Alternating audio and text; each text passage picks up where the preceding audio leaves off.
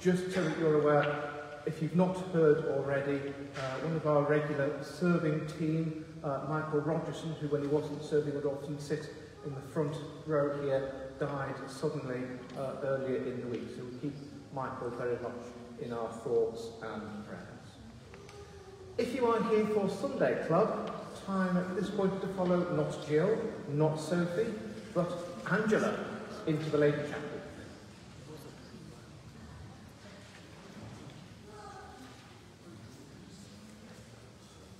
As we prepare to celebrate the presence of Christ in word and sacrament, let us call to mind and confess our sin.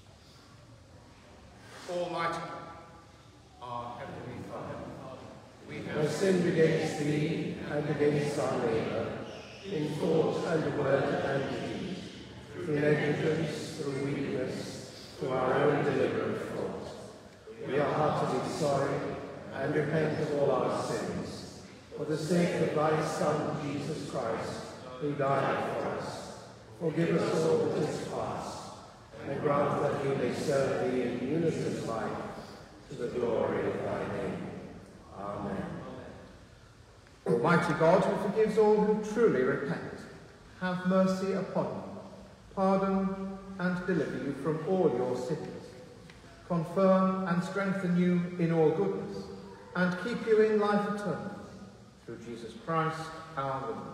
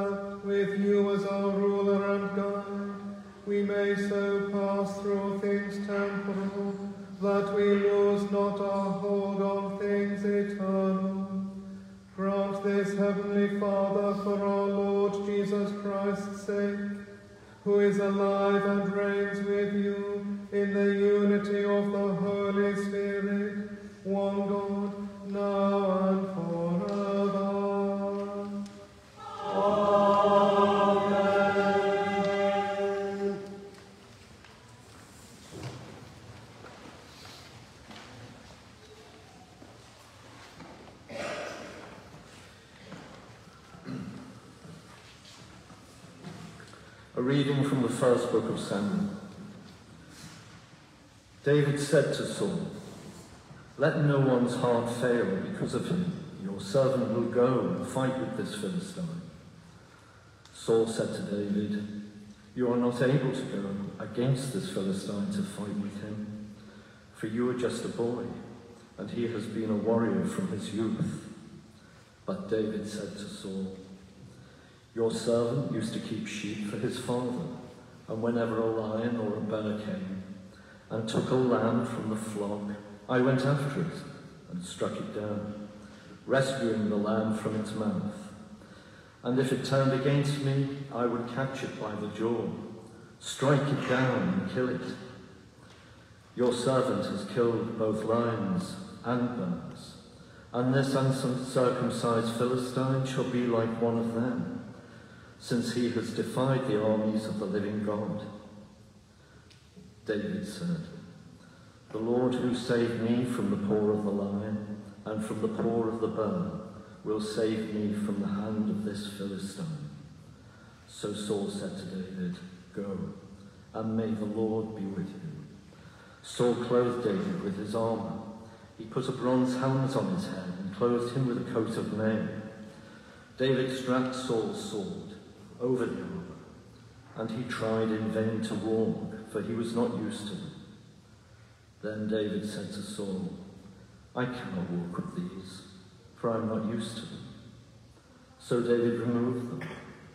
Then he took his staff in his hand and chose five smooth stones from the wadi and put them in his shepherd's bag, and in, in the pouch his sling was in his hand, and he drew near to the Philistine.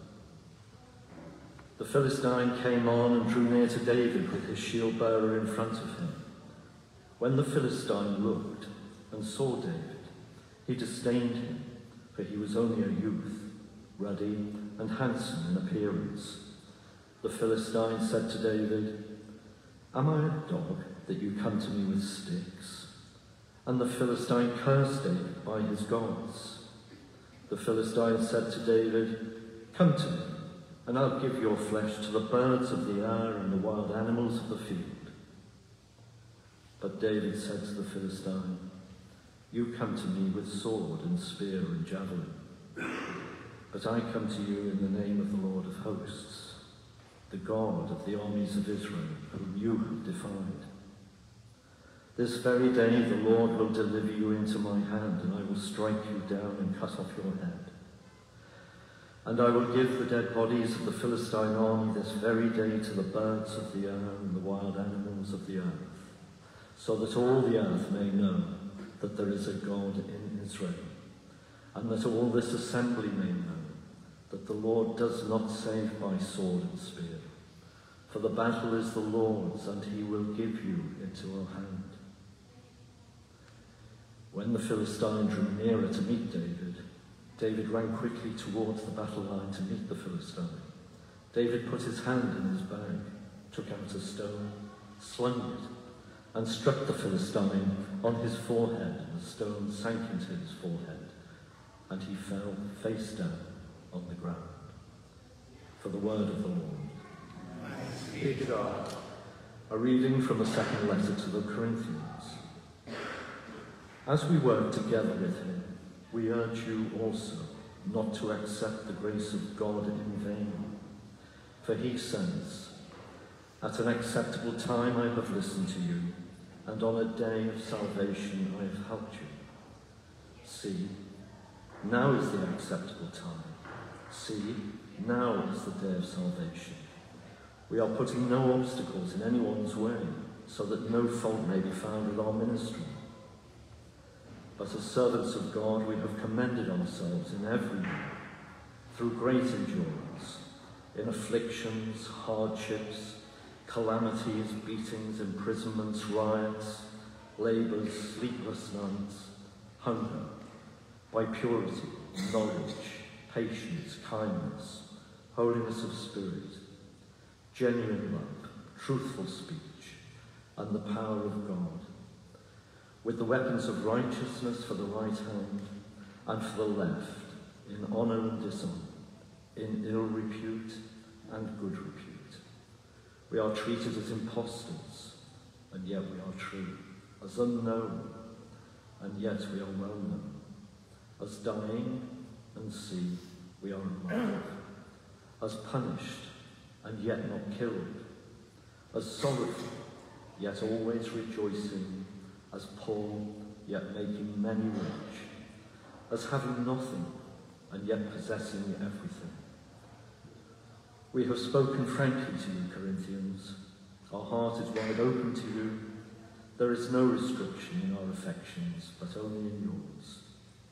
In return, I speak as to children. Open wide your hearts also for the word of the Lord. Thanks be to God.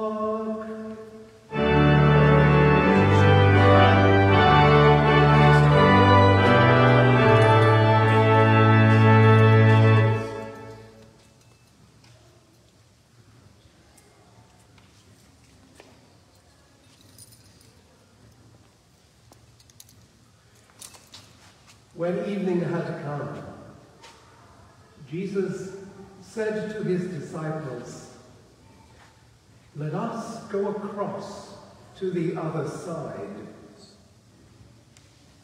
And leaving the crowd behind, they took him with them in the boat, just as he was.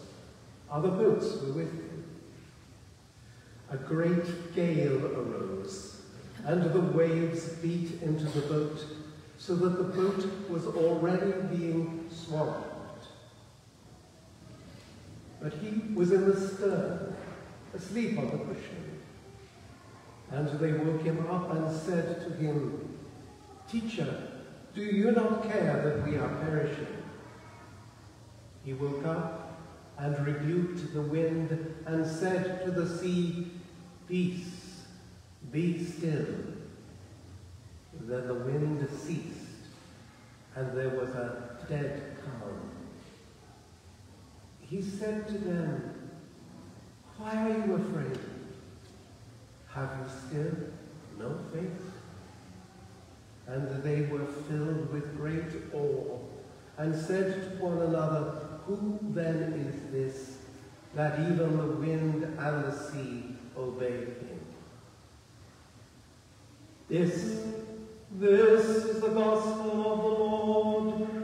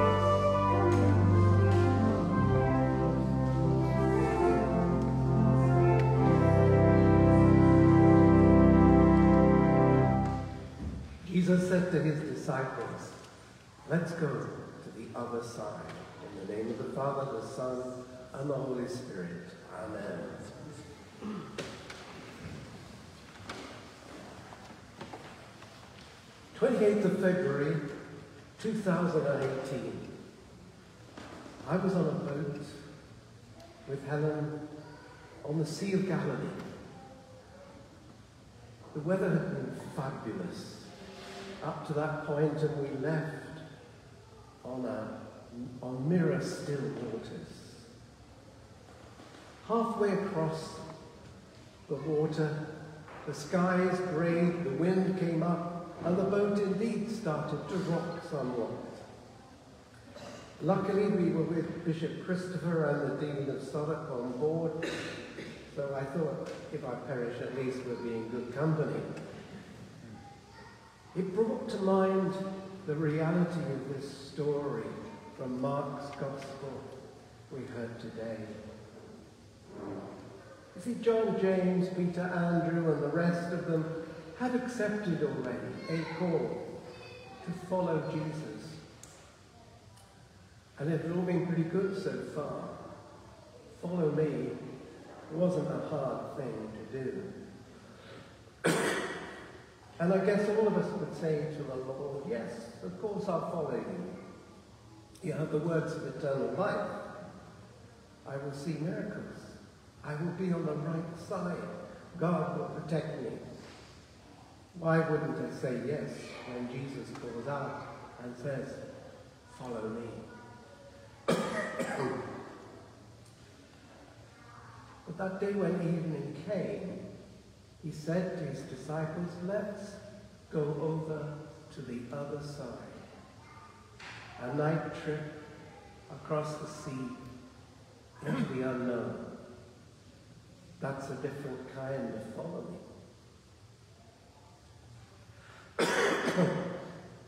and our epistle reminds us, while we're thinking of boats, that following God is not always plain sailing just as it wasn't on Galilee that day.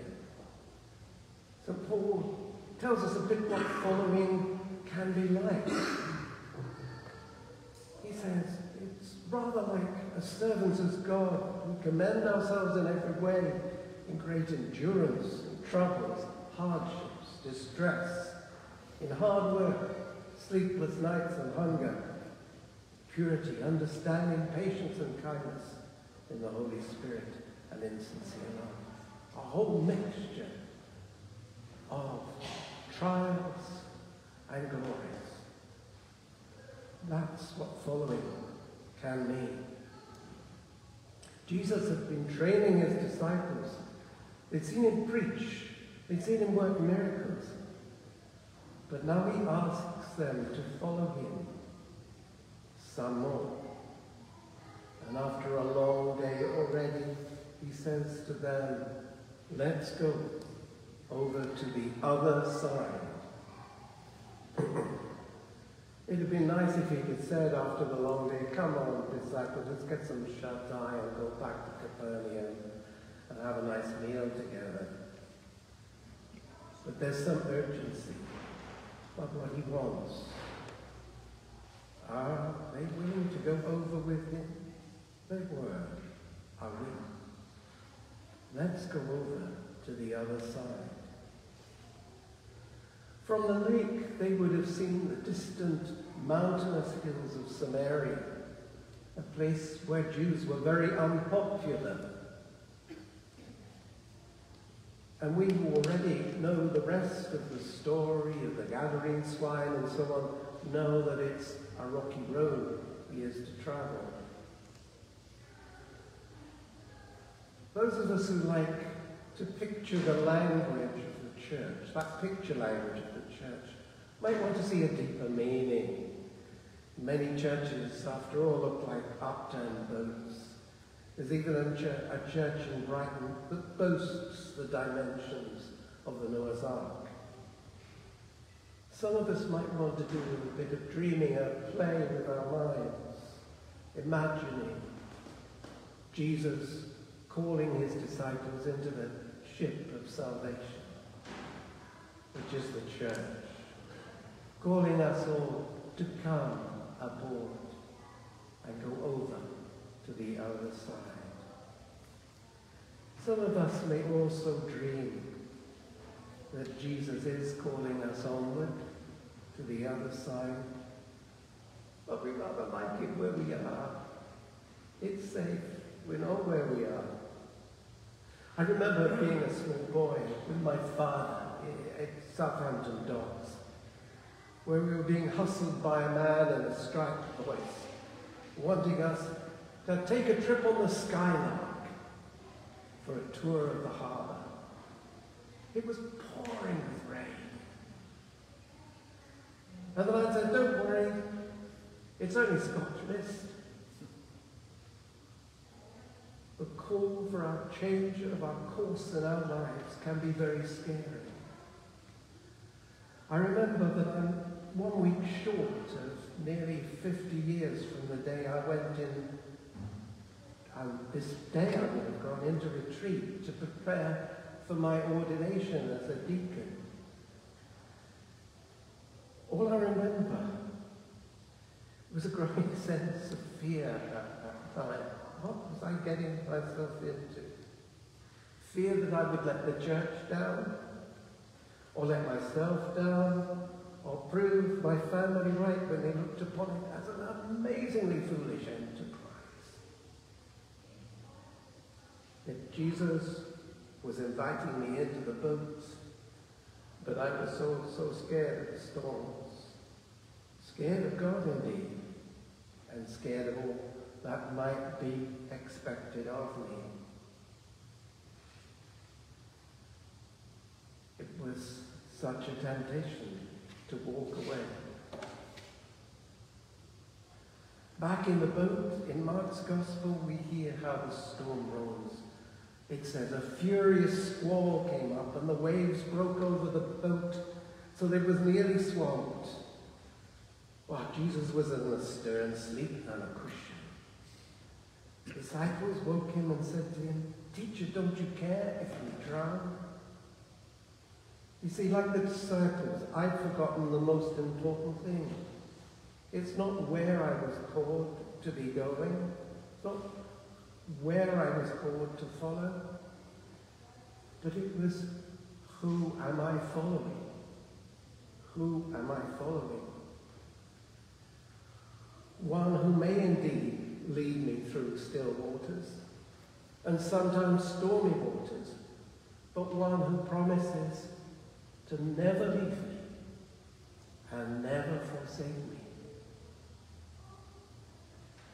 So, at whatever stage of life we are, from the very youngest here to the oldest, we are all still being called to follow and perhaps to risk going that bit into an unknown over the other side.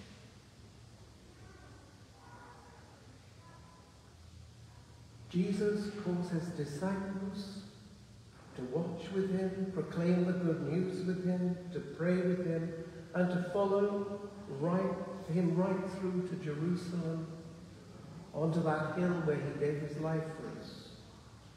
The call is ever onward. And the Holy Spirit of God each day calls us into unknown territory. We're always conflicted, ever wanting to hold on to what we know because it is what we know, even if it's far worse than what may be over the other side. We're all a little bit autistic. We resent change. And the truth of the matter is, however, that if we do not move on, we are changed anyway. We are changed in our lives as much by what we reject as by what we embrace. My call to ordination was as much as anything God's best for me. I didn't know it at the time. But it turns out it was the best way he could save me from myself. So when we move on in life, we need to ask ourselves, what is the character and the nation of the, of the nature of the person who is asking us to follow them? If it was the dodgy sailor in the striped shirt in Southampton, then we'd be fools to follow. He'd want our money at any cost. But what if it were the one who even the winds and sea obey? That beautiful Galilean fisher of men being the one that is doing the calling and calling you and me. The disciples found out which one it was when they rose, roused the sleeping Jesus to save the rocking boat. Did you notice that they were still afraid after the storm had abated? Their lives were saved, but they asked one another, by whom? What kind of being can command the wind and the waves? This is a very much more powerful Saviour than they had even begun to imagine when they started to follow him. They only found that out when they moved on to the other side. So when we are called by God to change, to move forward in some way, we are called to say our yes. It's not like following a politician, army captain, commercial manager, for we are in the hands of the living God, even the winds and sea obey. We're not called to follow a vain leader, but a feet washer, a servant of us all. It requires no money, no accolades, no pomp, no crown, if we are going to put our cross by anyone, let it be the one who went on the cross for us. These are difficult times. We can feel swamped by the slings and arrows of outrageous fortune, storms of passion, wars, rumors of wars. But when we cling on in fear, we can't carry on. We hold on in fear, our land and this very earth capsizes. Let us remember in the middle of our fear who really is our Lord and our God. For when I hear Jesus calling us in the Gospels to another shore, as I get longer in the tooth and less sound in wind and thin, I can't help thinking about that other shore to which Jesus also calls us. We used to hear about it in the words of the nine lessons and carols, bidding prayer. Let us remember before God, they would say, all those who rejoice with us, but on another shore and in a greater light. That multitude which no one can number, whose hope was in the Word made flesh, and with whom in this Lord Jesus we forevermore are one. As we grow older, our last task is to embrace that call with equanimity, the big ask. The whole process of aging is a humbling experience, to put it mildly. And our faith is tested ever more strongly as we experience it. I have a lasting memory of a funeral service I took for my first church warden's husband. He asked for an old fisherman's hymn for his funeral. And it goes like this Will your anchor hold in the storms of life when the clouds unfold their wings of strife? When the strong tides lift and the cables strain, will your anchor drift or firm remain? This only further reminds me of another well-known hymn. Jesus calls us, or the tumult of our life's wild, restless sea. Day by day, his sweet voice sounded, saying, Christian, follow me. Amen.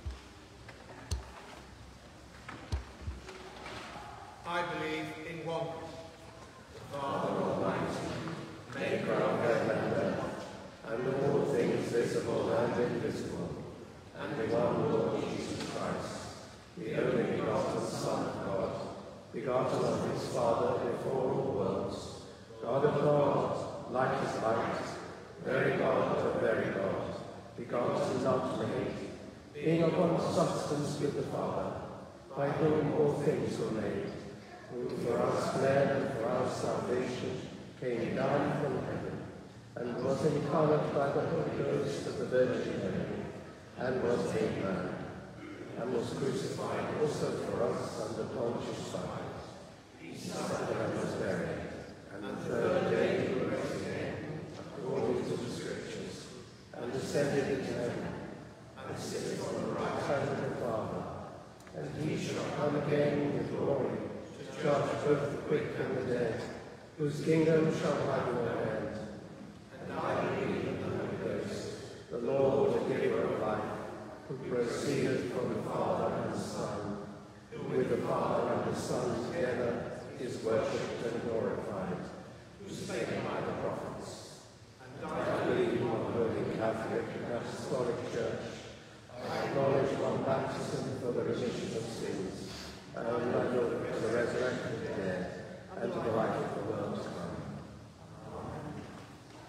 In union with Christ and in the power of the Spirit, let us pray to the Father.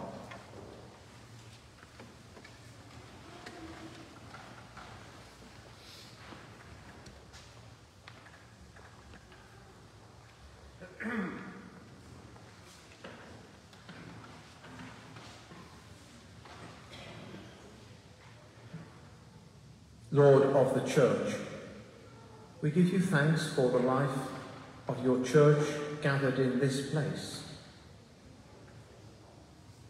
for its work of worship, witness and pastoral care across the centuries. We give you thanks for the life of this Diocese of Southwark, for Christopher, Rosemary and Martin, our bishops.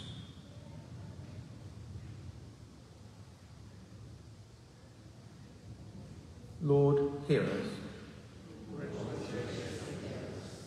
Lord of the world, we pray for your creation at this time.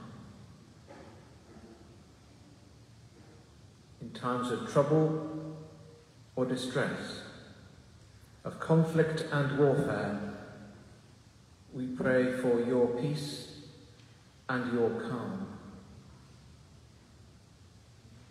We pray for all who at this time are seeking election to Parliament, for His Majesty the King and all who under him exercise authority. Lord, hear us.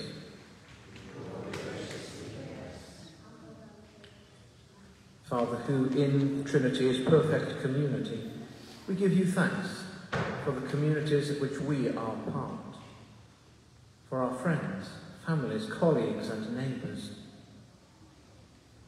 for this community of Carshalton.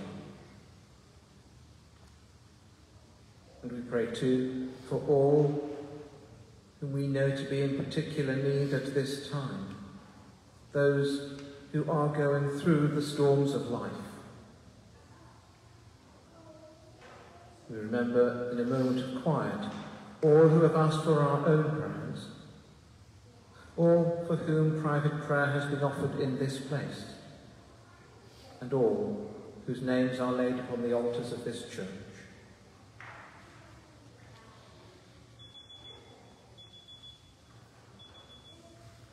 Lord, hear us.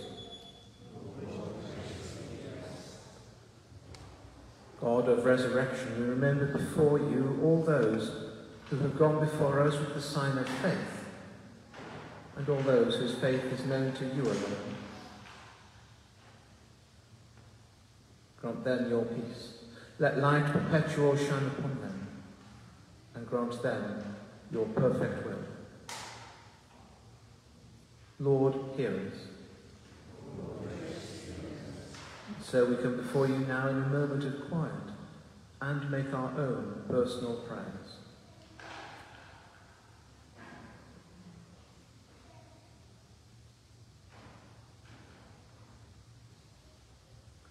We gather these and all of our prayers in the company of Blessed Mary and all the saints. Merciful Father, accept these prayers for the sake of your Son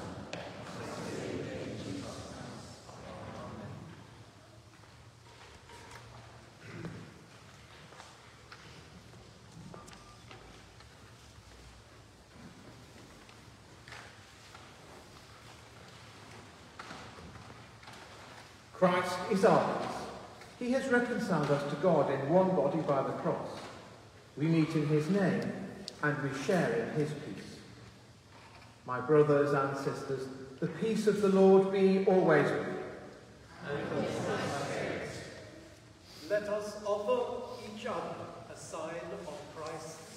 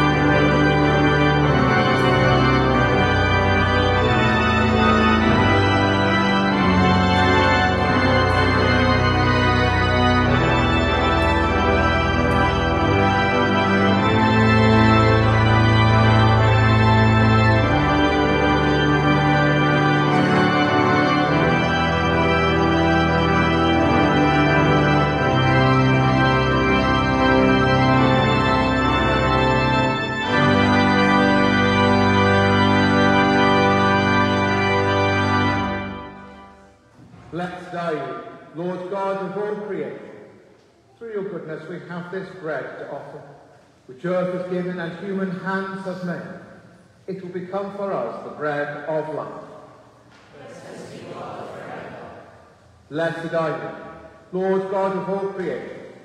Through your goodness we have this wine fruit of the vine and work of human hands. It will become our spiritual drink. Blessed be God forever. The Lord be with you.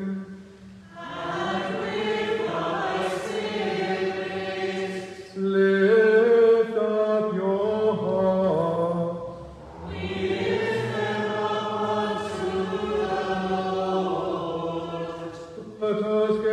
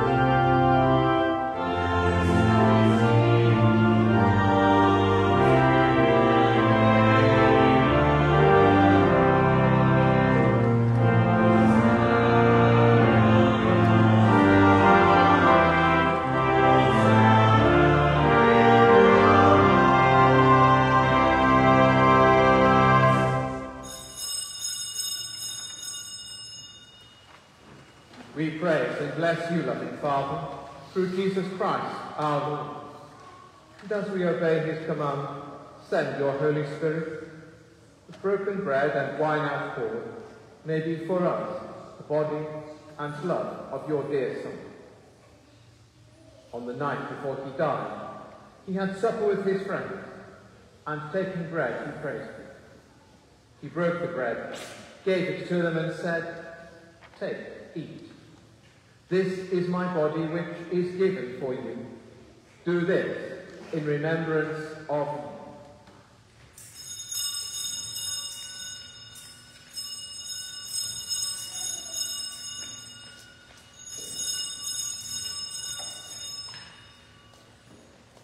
When supper was ended, he took the cup of wine. Again he praised gave it to them, and said, Drink this, all of you. This is my blood of the new covenant, which is shed for you and for many for the forgiveness of sins. Do this as often as you drink in remembrance of me.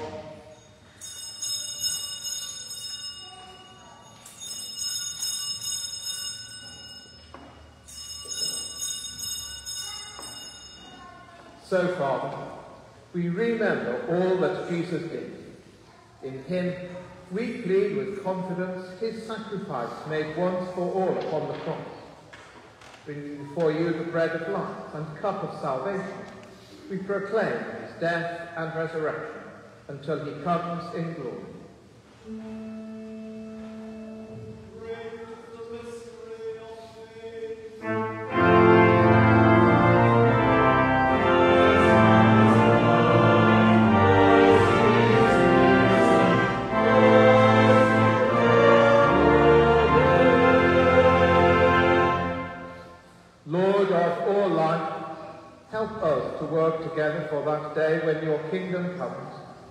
Justice and mercy will be seen in all the earth. Look with favour on your people. Gather us in your loving arms and bring us with the Blessed Virgin Mary and all the saints to feast at your table in heaven.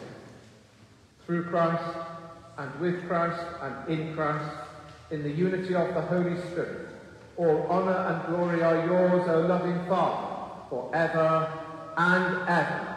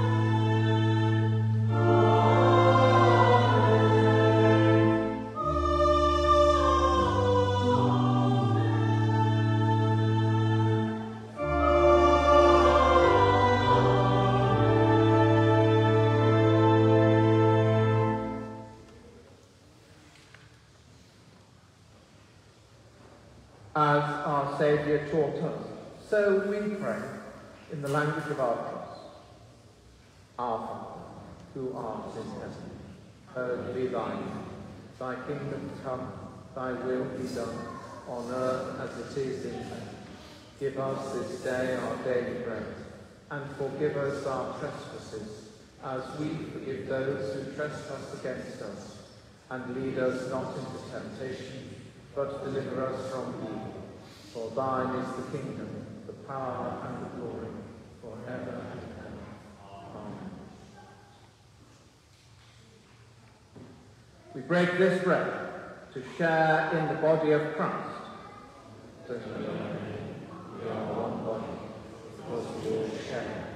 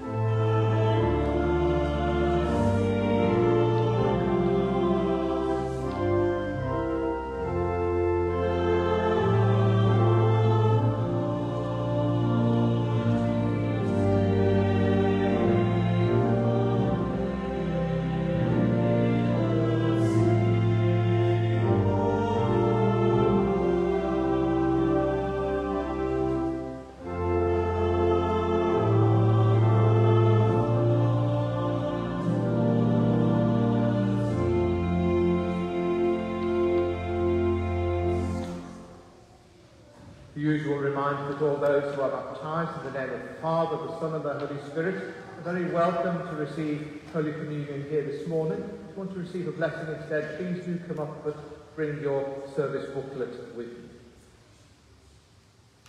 This is the Lamb of God, who takes away the sin of the world. Blessed are those who are called to his Son. Lord, I am worthy that thou shouldst come but speak the word only, and my soul shall be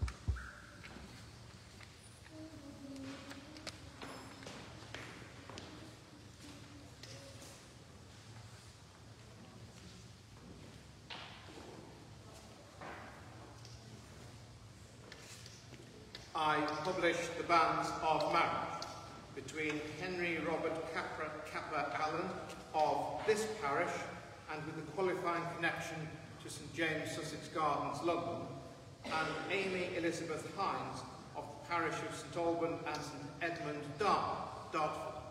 This is for the third time of asking if any of you know cause or just impediment why these two persons should not be joined together in holy matrimony ye are to declare it. So we pray God's blessing upon them and all those preparing for marriage uh, in the coming weeks and months.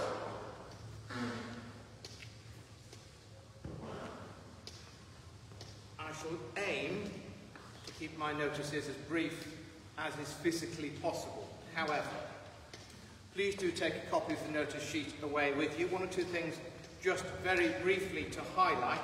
On this coming Tuesday, the book group will be meeting as planned, but not at the curatage. It will be meeting at the home of uh, Father Howard and Helen at 72 Park Lane. Normal time, just a different place. Um, it's been a busy weekend of concerts, but there's more concerts coming up. So uh, there is the next one, which is on the Saturday the 29th of June, and that's Sutton Symphony Orchestra with a night at the movies. And then on Saturday the 6th of July, the following week, Carshalton Choral Society are in producing a summer concert, A Sprig of Time. Tickets for uh, those are available on their websites and their flyers are on, the, on our website as well. Um, the next wine tasting will be on Friday the 12th of July, which is just under three weeks away, uh, and there are still tickets available. If you've not been to one of the wine tastings before, um, now's your perfect opportunity to give it a go.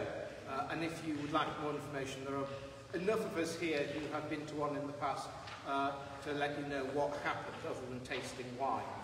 Um, they're organised by Chris Williams, who isn't here today, but if you would like to book a ticket, and it is uh, by ticket only, do have a word uh, with Marion before you leave.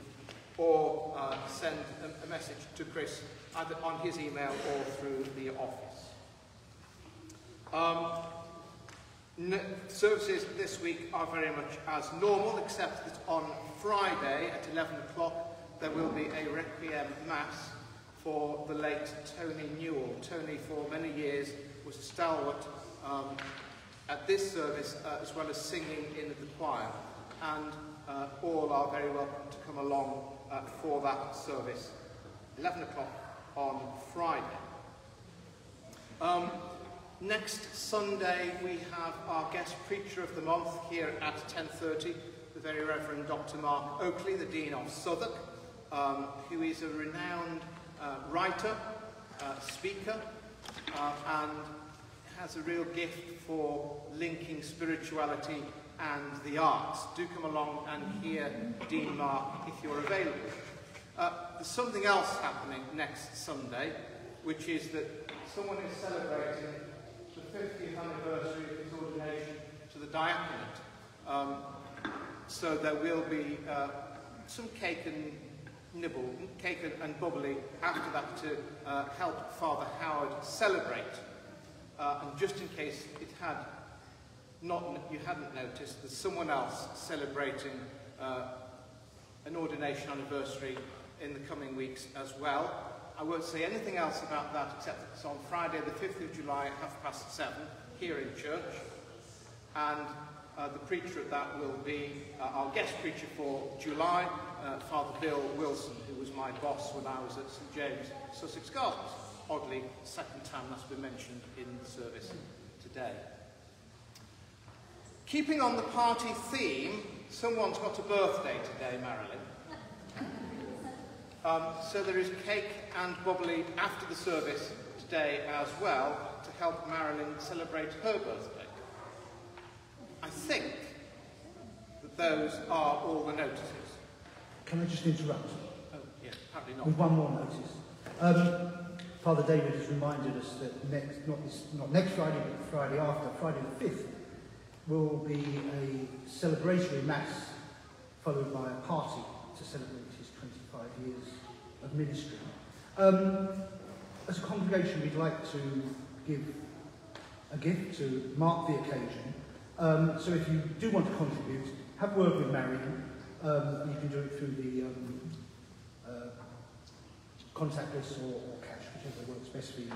But um, it's an important occasion, not only for Father David, but for our, the whole congregation. So please give generously. Thank you. Now, someone's run Sunday Club for the first time today. Over to Angela.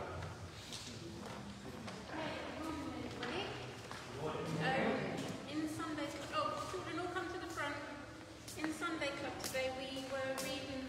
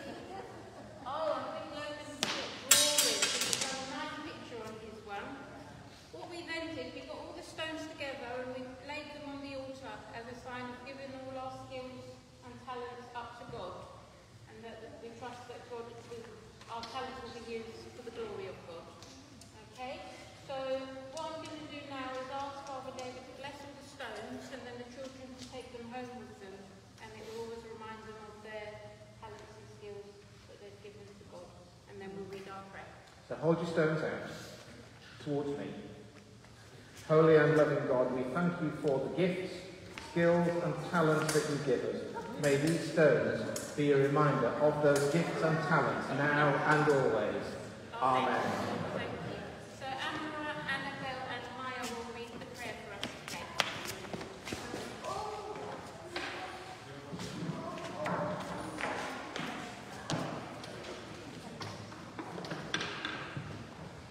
Dear God, though we have skills, we depend on you. May these stones remind us to have courage.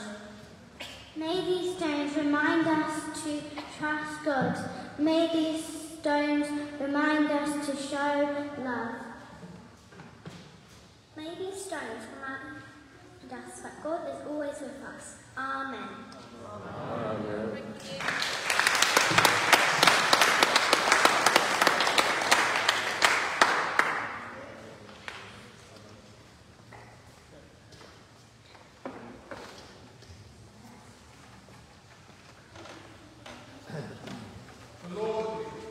And thy spirit. Christ was known to himself within his grace.